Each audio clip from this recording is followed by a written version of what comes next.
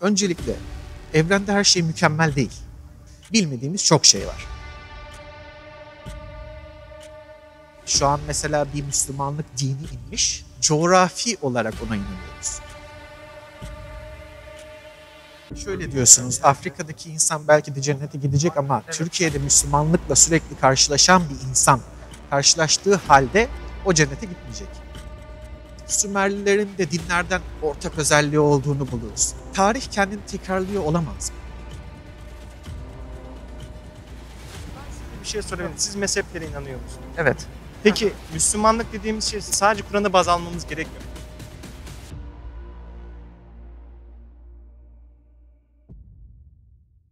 Hoş geldiniz. Merhaba, hoş bulduk. Nasılsınız, iyi misiniz? İyiyim, teşekkürler siz. İyi, teşekkür ederim. Ne yapıyorsunuz, okuyor, okuyor musunuz, çalışıyor musunuz? Ben okuyorum. Tekirdağ'da şu an Alman dili ve edebiyatı okuyorum. Ben de İstanbul'da Marmara Üniversitesi'nde Alman dili ve edebiyatı okuyorum. Çok güzel. Şimdi size bir soru soracağım. Soruyu da siz belirleyeceksiniz. Çıkan soruyu okumanızı rica edeceğim. Tamam, olur. Şimdi, madem Kur'an'da bilimsel mucizeler var, o zaman bunları neden siz bula- bulmadınız? Müslümanların hep böyle bir iddiası oluyor ya. Bir bilimsel mucize gerçekleşiyor mesela. Evrenin genişlemesi bulunuyor. Ondan sonra Kur'an'da yazıyordu bu. Denilince de hemen şöyle bir iddia çıkıyor. Madem bu Kur'an'da yazıyordu daha önceden siz neden bunu bulmadınız diyorlar. Ne düşünüyorsunuz bu konu hakkında? Şimdi Kur'an e, Arapçadan şimdi Türkçe'ye çevrilirken her türlü tasvir şeklinde e, farklı şekillerde tasvir edilebiliyor. Benim okuduğum kadarıyla e, her çevrildiğinde çevirmenden çevirmene baktığımızda olayların farklı olduğunu görüyoruz. Hani şimdi tamam e, bilim adamları şu an bulmuş ama önceden peki bunda yazıldığı şekilde neden ortaya çıkmadı? Yani bilim dediğimiz şey aslında 200 senede savaşlarla olsun, işte kapitalist düzenin gelişmesiyle olsun ilerlemiş bir şey. O dönemdeki bilim aslında sadece hevesle ilerleyebilmiş bir şey. İnsanların hobisi olarak ilerleyebilmiş bir şey. Hani bu sebepten dolayı aslında o dönemdeki bilim daha günümüzü şekillendiren değil, son 200 senedeki bilim aslında günümüzü şekillendiren yeni keşiflerin, bilimle tanımlayabildiğimiz şeylerin şu anda olmasının en büyük sebeplerinden bir tanesi bence. O zaman mesela bu Kur'an'daki bu tarz mucizelere inanmıyorsunuz herhalde. E, ben inanmıyorum. Yani Yani mucizelere inanmıyorum. Yani Kur'an'ın tabii ki de e, bazı toplumsal olarak iyi yanları da var, kötü yanları da var. Ama genel olarak mucizelere inandığımı söyleyemem. Yani Kur'an dönemine göre aslında toplum standartlarını değiştiren çok o döneme göre güzel bir kitap. Çünkü hani mesela atıyorum şu an toplumsal cinsiyet işsizliği çok büyük bir gündem. Ve o dönem işte Kur'an'da yazan dört kadın muhabbeti var bir erkek için. Ve ondan öncesinde mesela sonsuz bir kadın muhabbeti vardı. Hani o dönem için evet güzel bir kitap ama günümüz için çok bir geçerli olduğunu düşünmüyorum ben şahsen. Anladım. Ee, peki mesela bambaşka bir yere geleceğim. Bir yaratıcının varlığına inanıyor musunuz o zaman? Şimdi olabilir de olmayabilir de. En klasik cevabı vereyim. Tekrardan en her koyun kendi bacağından asılır. Şimdi sen Müslüman olsan sana desem kanıtla kanıtlayamazsın. Ben ateist olsam bana desen kanıtla kanıtlayamam. O yüzden bunu yani Aslında felsefeyle kanıtlanabilir ki Descartes'in düşüncesiyle. mesela Tercih diyorsun sonuçta. Benim var olmamla olmamam eşitti. Demek ki bir tercih edici var ki ben varım şeklinde. böyle bir paradoksa girmez miyiz? Şimdi dinin e, başlangıcı bana göre bir umut. İnsanlığın bir umuda ihtiyacı duyması. Açık konuşayım. Şu an dinin olması, şu an ortadan din kalkarsa e, tabii ki de bir kaos oluşacağına inanıyorum ben. Benim düşüncem sadece. Neden? Din her ne kadar kötü ve iyi yanları olsa da insanlara bir umut veriyor. Saklanacak bir yer veriyor. E, kötü zamanlarında yanında olacak bir e, varlık veriyor. kötü zamanlarını aslında iyi bir şeymiş gibi onlara hissettirebilen aslında en güçlü şeylerden bir tanesi aslında. Böyle bir şey olduğu zaman e, en karanlık zamanlarda bile yanında arkadaşların olmadığı zaman göremediğin ama inanmak istediğin bir şeye inanabiliyorsun. Bu da tabii ki de iyi olabiliyor. Şu anda depresyon olsun, e, psikolojik olarak kötü bir yerde olan insanlar olsun böyle şeylerden çok büyük destek aldığını gördüm. Dinlerin insanların bu ihtiyacı için oluşturulmuş, bu ihtiyacını gidermek belki insanlar tarafından oluşturulmuş bir sistem olarak mı görüyorsunuz? Öyle düşünüyorum açıkçası. Şimdi şöyle, ben bakıyorum evrendeki her şey belli başlı atomlardan oluşuyor. En temelinde proton, nötron, elektron gibi elementler var. Şimdi bakıyorum mesela benim vücudumdaki atomlar hücreler oluyor ve hücrelerde mesela benim seçme kabiliyetime göre hareket ediyorlar. Sonra benim bilgim sınırında hareket ediyorlar. Benim gücüm sınırında hareket ediyorlar. Mesela 10 kiloluk bir şeyi kaldırmak istiyorum. Kaldırabiliyorum.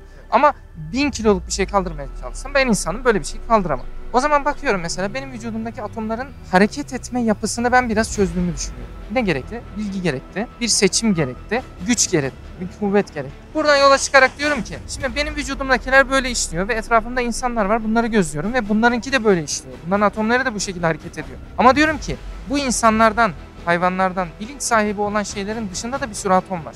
Ve bunlar da bir şekilde hareket ediyorlar. Mesela gezegenler hareket ediyor, dünyamız hareket ediyor, güneş hareket ediyor, galaksiler hareket ediyor. O zaman diyorum ki benim bu bilicim dışında olan şeyler de bir düzene tabilerse, bir hareket ediyorlarsa bunları da hareket ettirecek bir şey lazım diyorum. Mesela diyelim ki benimkini ben hareket ettirdim. Buradakini bir yaratıcı hareket ettirdi. Oradakini başka yaratıcı hareket ettirdi desem o zaman. Mesela politeizm dediğiniz gibi. Çoklu bir tanrı olabilir mi diye düşünüyorum. Sonra da karşıma şöyle bir engel çıkıyor. Mesela benim buradaki vücudumun içerisindeki hidrojen atomlarına hangi kurallar tabi ise bir bakıyorum ki güneşin içerisindeki atomlarda da aynı kurallara tabi. Bir Andromeda galaksisinin içerisindeki hidrojen atomları da aynı kurallara tabi. O zaman buraya etki eden bir güç varsa oradakine de aynı olması gerekiyor. Niye? Çünkü aynı kurallar burada varken orada da var. O zaman politeizm de bana mantıklı gelmiyor. Bir yaratıcı olması lazım dedim. Ondan sonra dinleri araştırdım. Aralarından en mantıklısı bana İslamiyet geldi.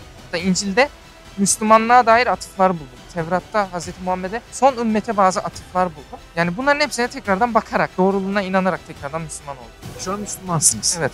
Şimdi birden birçok şey söylediniz. Hepsine kafamda Tabii ki. Çok zor. bilmem Ve ne falan ama aslında dediklerinizi araştırmamız da gerekiyor. Hani e, ben Tabii ki. şahsen Kur'an'ı okumamış bir insanım daha. O yüzden hani net bir şekilde var veya yok diyemem. Dört tane kutsal kitabı da okumadım. O yüzden bilmiyorum hani atıflar gerçekten var mı yok mu bu noktada da bir bilgim yok. O yüzden hani net bir şekilde size katılıyorum diyemem ama e, kafamda Doğal bir olarak. ışık yaktınız. O yüzden bu noktada ben de araştırmayı düşünüyorum yani. Çünkü öncelikle evrende her şey mükemmel değil. Doğru. Katılıyorsun. Yani sıkıntılar çıkabiliyor bazen. Bilimimiz her ne kadar son 100 senede çok geçmiş senelere bak- baktıkça e, bin seneden daha fazla son 100 senemizde gelişmiş olduğuna bakarsak bilmediğimiz çok şey var. Doğru. Katılıyorum. E, biz geleceği bilemeyiz. Belki de biz işte 30 sene sonra 50 sene sonra öleceğiz. Öldükten sonra çok büyük bilimsel araştırmalar yapılacak bilmem ne. Ama belki de binlerce sene geçecek yine de bir yaratıcının veya işte Big Bang'tir bilmem ne bir şeylerin bulduğunu bilemeyeceğiz. Onun dışında oradan atlayıp şeye geldiniz. E, Hazreti Muhammed'in diğer kitaplarda bulunduğuna geldiniz. Ama şimdi oradan geçmişe döneriz, Sümerlilere geliriz. Sümerlilerin de dinlerden en önceden diğer dinlerde bir sürü ortak özelliği olduğunu buluruz. Evet, çok güzel. Tarih kendini çok fazla tekrarlayan bir şey. Tarih kendini tekrarlıyor olamaz mı? Çok güzel.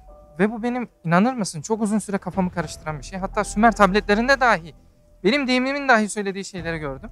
Ve yani o dönem kafam çok karıştı. Ama sonradan Kur'an'ı tekrardan okuduğumda şöyle ayetlere denk geldim. Sana bazı şeyleri vahyettik. Senden öncekilere de vahyetmiştik. Sonra bir baktım 124 bin tane peygamber geldiğini söylüyor Hazreti Muhammed sallallahu aleyhi ve sellem. Ve diyor ki bunların hepsini de benim inandığım Allah yolladı. Mesela Hristiyanlık dini doğruydu. Benim yaratıcım yolladı. Ama insanlar onu bozduğu için yeni bir din geldi. Aşağı yukarı yapılan hesaplamalarla tahmini olarak Hz. Nuh'un Sümerli dönemlerine gittiğini söylüyorlar. Ona geldiğini ve onun bahsettiğimiz yazıtlarda yazılı olan bu bilgileri Allah tarafından yine onlara verildiğini söylüyor. Kur'an'da bizzat diyor ki sana anlattıklarımızın bazılarını eski kavimlere de anlattık zaten. O zaman benim kafamda bunlar birleşti. Hatta şu çok saçma gelmişti bana. Nuh tufanı diye bir olay var. Bir bakıyorsun Sümerliler var. Hintlilerin kaynaklarında var. Çinlilerin kaynaklarında var. Hatta bazı İskandinav kaynaklarında var. Şimdi bu kadar uzak mesafelerde aynı olayın düzgün bir şekilde anlatılması demek ki bir yaratıcı her birine kendi elçileriyle bunu anlatmış. Zaten Kur'an'ın büyük bir bölümü mesela Hz. Musa'dan bahseder, Hz. İbrahim'den bahseder ve işte bu tarz mucizelerden, Nuh tufanı gibi mucizelerden bahseder. Ama şöyle bir şey var. Şimdi geçmişten e, aynı yaratıcıdan bahsediyorsunuz hani diğer kitaplarda da falan. Şimdi her ne kadar ortak alanlar olsa da ortak katılmadığımız alanlar da var. Şimdi Diğer dinlerle değil mi? diğer dinlerde. Şimdi tabii ki de çok güzel. Şu an mesela bir Müslümanlık dini inmiş ve e, coğrafi olarak ona inanıyoruz.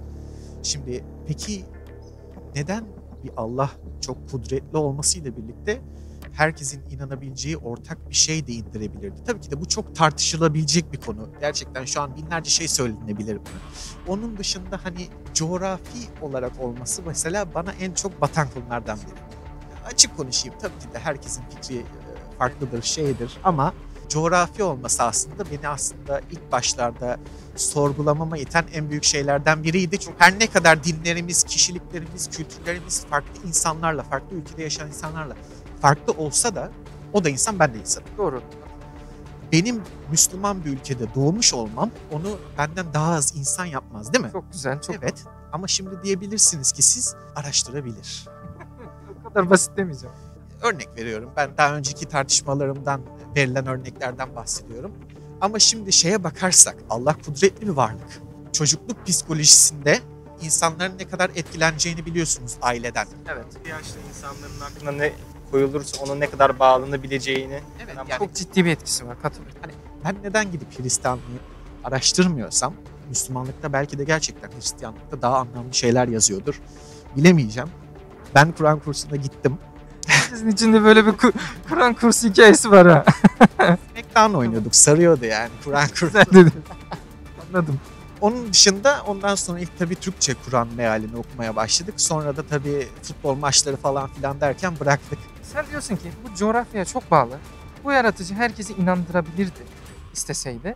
Biz burada yaşadığımız için Müslümanız. İnsanlar Fransa'da doğduğu için mesela Hristiyan. Hz. Muhammed Aleyhisselatü Vesselam şöyle bir cümlesi var. Diyor ki Hz. İsa geldiğinde o zaman Hristiyan olanlar cennete gidecek. Hz. Musa geldiğinde o zamanlar Tevrat'a inananlar cennete gidecek. Şimdi de en son din geldi Hz. Muhammed Aleyhisselatü Vesselam.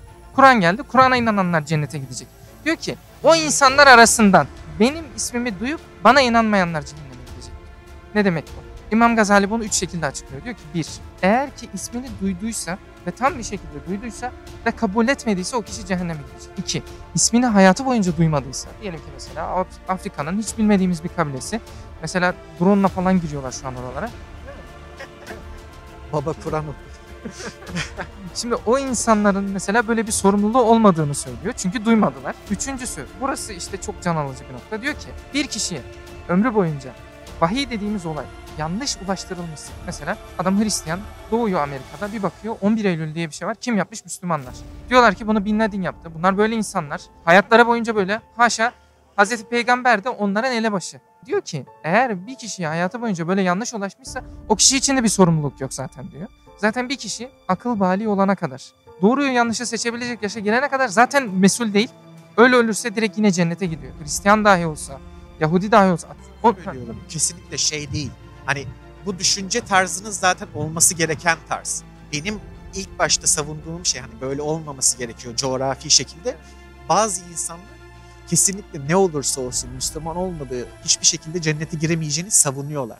Kitapta yazıyor falan demiyorum. Hani bazı insanların düşüncesi üzerine ben bunu dedim. Ama dediklerinizde haklısınız. Eğer kesinlikle öyleyse tabii ki de çok güzel. Hani savunurum da bunu. Bir adım ötesi daha var değil? Tabii. Bu da Müslümanlara gidiyor. Şimdi Müslümanlar arasında da bir yaratıcının varlığını kabul edip ama onun dini emirlerini yerine getirmeyen, özellikle annesinden babasından ve etrafından çokça duymasına rağmen, hatırlatılmasına rağmen dinin emirlerini yapmayanlar var. İşte bunlara da şöyle bir şey geliyor. O kişiye hayatı boyunca mesela 5 defa duyduysa belki 5 seferlik sorguya çekilecek. Ama bu kişi hayatı boyunca milyonlarca defa duyuyor Müslüman olan bir kişi. O yüzden ben Allah'a inanıyorum deyip kurtulacağını düşündüğümüz birçok kişi belki de kurtulamayacak. Yani şöyle diyorsunuz Afrika'daki insan belki de cennete gidecek ama Türkiye'de Müslümanlıkla sürekli karşılaşan bir insan karşılaştığı halde o cennete gitmeyecek. Gitmeyebilir. Eğer ki dinin emirlerini uygulamazsa, Anladım, aynen. yalanlarsa. İmam, e, mezhep imamları vardır ya, Hanefilik, Şafilik, Hanbelilik. Diyor ki bir kişi annesinden babasından duyduğu gibi iman ediyorsa, kendine dair bir ispatı yoksa mesela din adına ve dinin emirlerini yerine getirmiyorsa bu kişinin ahirette hali içki içenden farksız olacak diyor. Bence çok ciddi bir iddia. Ve bunu me- mezhep alimleri diyor. Ben size bir şey sorabilirim. Siz mezheplere inanıyor musunuz? Evet. Peki e, Kur'an ilk indirildiğinde o zaman mezhepler var mı? Bilmediğimden soruyorum şu an. O dönem mezhepler yok ama gerek de yok. Peki Müslümanlık dediğimiz şey sadece Kur'an'ı baz olarak oluşmadıysa mezhepler sonrasında hani sadece Kur'an'ı baz almamız gerekmiyor. Mezhepler doğru mudur yani bu noktada? Bunu ben sizden öğrenmek istediğim için soruyorum bu arada.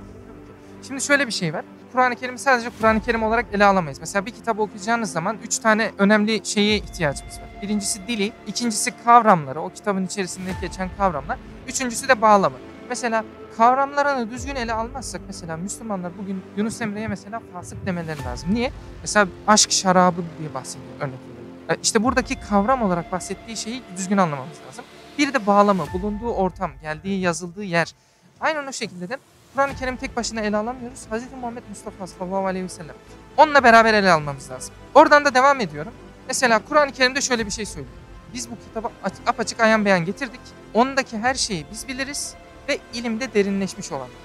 İkincisi, Efendimiz Aleyhisselatü Vesselam Muaz bin Cebel olması lazım. İsmi yanlış hatırlıyor olabilirim. Şam'a vali olarak atıyor. Gideceği zaman da ona soruyor. Diyor ki sen burada neyle hükmedeceksin? Ben diyor önce diyor Kur'an'a bakacağım diyor. Kur'an'da yazıyor mu? Efendimiz diyor ki çok güzel. Eğer Kur'an'da yazmıyorsa ne yapacaksın diyor. Diyor ki senin hayatına ve sözlerine bakacağım. Eğer orada yazıyor mu diyor. Çok güzel. Peki orada da yazmıyorsa diyor. Orada da bir şey yoksa diyor. O zaman diyor ki ben senin söylediklerinle kıyas yaparak bir karar vereceğim diyor. Hah çok güzel diyor gönderiyor. Demek ki buna bir kapı açtığını Efendimizin yine görüyoruz. Hatta mezhepleri de şöyle anlatalım. Çünkü bu konu uzaktan bakılınca tam olarak anlaşılmayınca kısır basit kalıyor. İmam Azam Ebu Hanife'ye soruyorlar. Diyorlar ki ya sen böyle bir şey çıkardın. Bunu nasıl çıkardın? Ben öyle bir şey çıkarmadım. İnsanlar bana geldi sordu. Ben de onlara cevabı verdim. Ama cevabı verirken şöyle verdim. Biri bana bir şey danıştığında önce baktım Kur'an'da var mı? Varsa zaten direkt onu uyguladım. Ben onun üzerine söz söyleyemem. Efendimizin hayatında var mı? Varsa direkt onu uygularım. Hiçbir şey söylemem. Üçüncüsü onun hayatında yok mu? Peki onun devamında gelen insanlar. Mesela Hazreti Ömer, Hazreti Osman, Hazreti Ebu Bekir.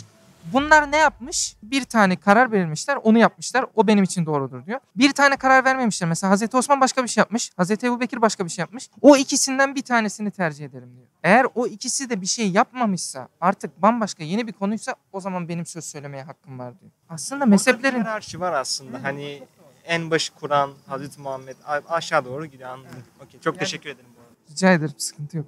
Anlatabildim mi biraz? Zihninizdeki algı da değişmiş oldu. Tartışma oldu. Teşekkürler. Ee, bağırıp, bağırıp çağrışmadık. Güzel bilgiler. Böyle de olabiliyormuş. Biz fikirlerimizi söyledik, siz fikirlerinizi söylediniz. Başka sorunuz varsa da cevaplamak isteriz. Ee, ben şunu vereyim biraz yoruldum bir su içeyim. Size birkaç bir şey daha söylemek istiyorum. Dinlemek isterseniz onu da Bye.